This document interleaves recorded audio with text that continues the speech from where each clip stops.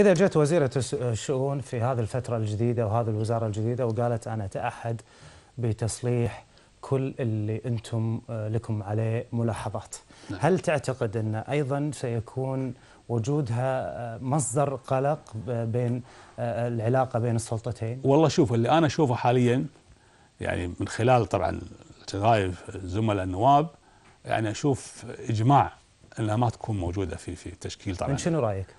أنا رأيي إنها تمشي تقدم استقالتها افضل لها لأن حتى حتى أنت لو تشوف التشكيله الحكومية حاليا تلاحظ مثلا أن أحد الوزراء هو بالتحديد وزير الدولة لشؤون مجلس الأمة عادل الخرافي معطينا فقط وزارة الدولة لشؤون مجلس الأمة هذا شنو دورها هالوزارة؟ لا هذا معناته جاهز لأي وزارة أخرى تنضم له مم. فأعتقد أنا في حال استجواب هند الصبيح طبعا راح تطلع بالاستجواب وبالتالي أتوقع راح يكلف عادل الخرافي بانه يكون وزير الدولة لشؤون مجلس الامه أو وزير الشؤون يعني standby احتياط اللي اشوفه حاليا. حال لأنه مو معقوله وزير. يعني كعادل خرافي وعضو مجلس الأمة وشخص كذلك إنه يقبل فقط في وزارة واحدة. أكيد موعدين في وزارة ثانية.